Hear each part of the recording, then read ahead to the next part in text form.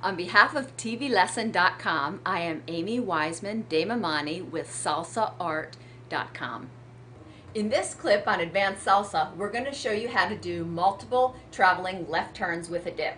This looks like this.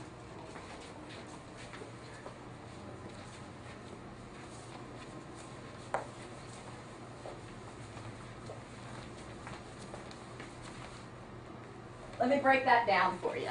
So we start with a crossbody lead.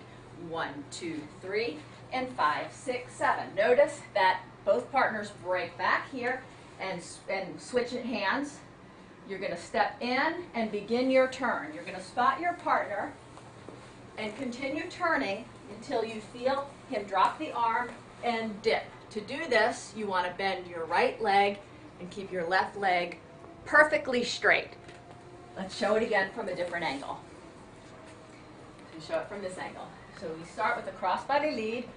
One, two, three. Simple right turn for the follower. Both partners break back, switch hands, and begin the traveling turns. Make sure to spot your partner. And when you dip, right leg bend, left leg perfectly straight. Up, out, and break back on one. We'll show it one more time. One, two, three, and five, six, seven. One, two, three, and five, six, seven. Right back. One, two, three. Spin. Five, six, seven. And drop. This is multiple traveling left turns with a dip. On behalf of TVLesson.com, this is Amy Weisman de Mamani. Thank you for watching.